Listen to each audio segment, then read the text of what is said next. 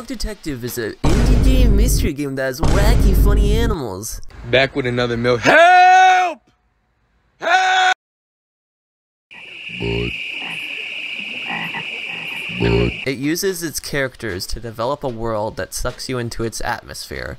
You get a call one day about a mysterious ghost haunting the island. Since you are the only detective for the job, you decide to check it out. Once you are there, however, you realize that all these scientists have no idea what they're doing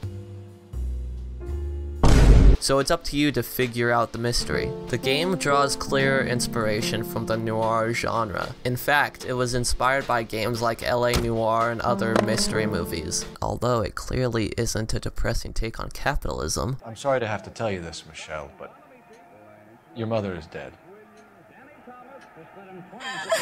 Frog Detective pushes the boundaries of its genre, bear with me on this. The game subverts its own source material by focusing on the characters rather than the mystery. At no point in the game do the animals actually help you solve the mystery. They don't have any information or clues that could lead you to a conclusion about the ghost. Instead, Frog Detective likes to use comedy and character development to get you invested in the world this wasn't just my opinion either. This, this was the game design philosophy. Um, so as an example for from Frog Detective, I took a genre that has a lot of existing expectations. So detective games often have moody noir tones like grisly bodies and chase sequences and like cigarettes and all that.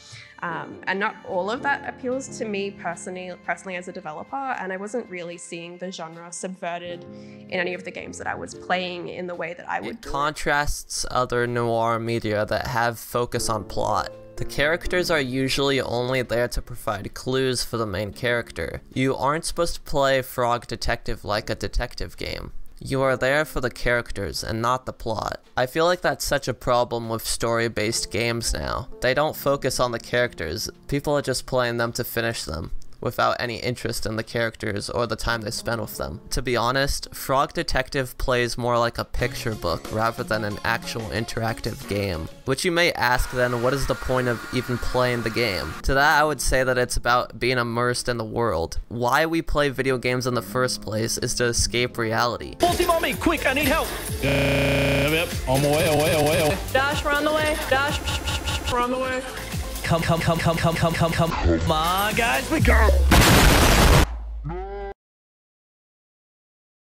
or expectations of a video game should be subverted. This is why I like Frog Detective. I keep thinking about it even months after playing it. It's about getting your experience with the characters. That's why the ending is a dance competition. You're deciding which character you connected with the most. For me, it's the little koala guy. I love him so much.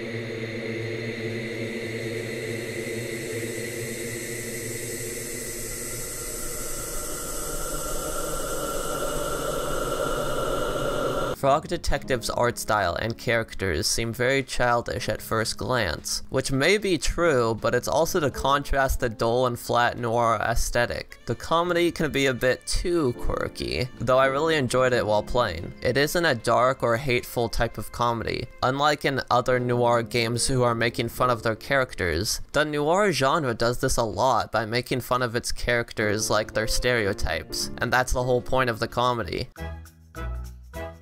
Frog Detective is a pretty short game, but it left a lasting impact on me. It changed the way I look at stories and characters. It reminded me that not every game has to be a 60 hour story based adventure where you kill the evil god or something.